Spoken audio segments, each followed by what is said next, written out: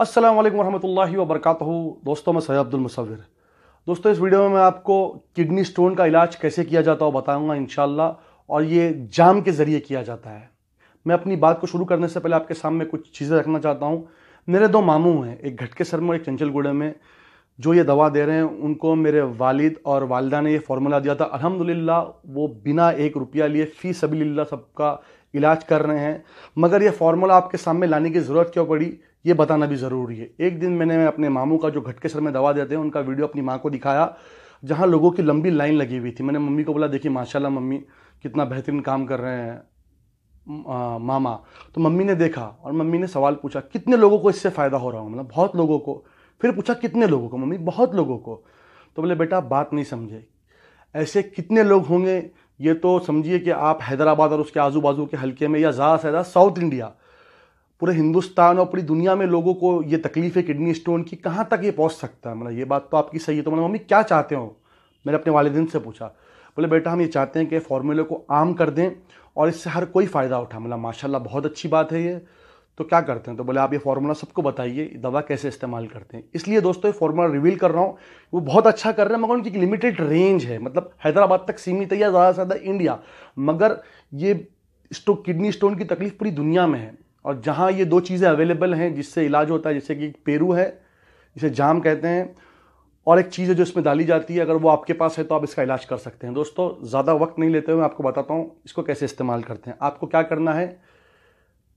Peru या जाम जिसे कहते हैं, उसको आपको ऐसे कट करना है। दिख रहा है आपको ये ऐसे हिस्सा निकाल के कट करना है। दोस्तों, ये कच्चा जाम है, मैंने आपको समझाने के लिए लिया है।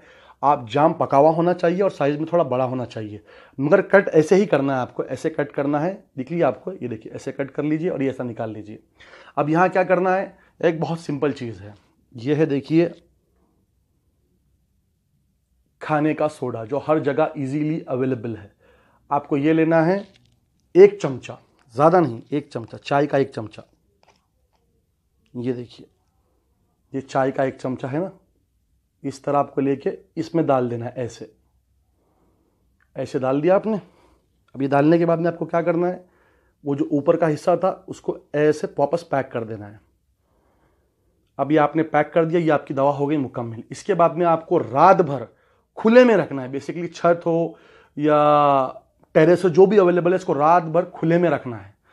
रात भर रखने के बाद में सुबह नहर पेट मतलब बिना कुछ खाए, ब्रश करने के बाद में इसको आपको खाना है।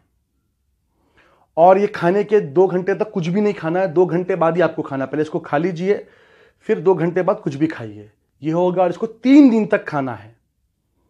और दोस्तों, समझिए आपने दो दिन खाया, एक दिन आपका छूट गया, फिर आप सोचेंगे, फिर मैं एक दिन खा लूँ तो ऐसा नहीं।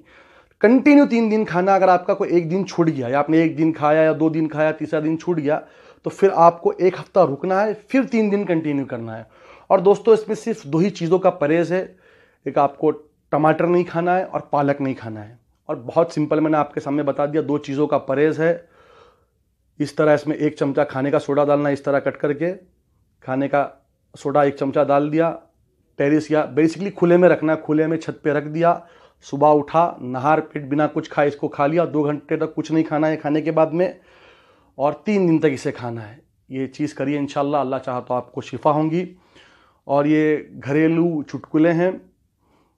अल्लाह की अगर मर्ज़ी रही, अल्लाह सुबह तला की तो इन ज़रूर ज़रूर आपको शिफा होंगी। अब तक जितने भी लोगों ने इसको इस्तेमाल किया उनको शिफा हुई है। अल्लाह की ज़ात से खवी उम्मीद है कि आगे भी लोगों को इससे शिफा होंगी इन और दोस्तों, जिनका ये फार्मूला है मेरे माँ बाप वालदेन के हक़ में दुआ करिए। मेरे वालिद का नाम सैयद याकूब हसन मुजाहिद है, मेरी माँ का नाम सैयद आयशा है, उनका यह फार्मूला है। उनके हक़ में दुआ करिए कि अल्लाह उनको सेहत दे, हयात दे। बस इस फार्मूले के एवज़ में आपसे यही चाहते हैं कि मेरे माँ बाप के हक़ में दुआ। अल्लाह उनको सेहत और हयात दे और उनकी तमाम मुश्किल परेशानियों को हल करे। आमीन, सुम्मा आमीन। या रब्बुल आलमीन। अस्सलाम वालेकुम वरहमतुल्लाहि व बरकातहू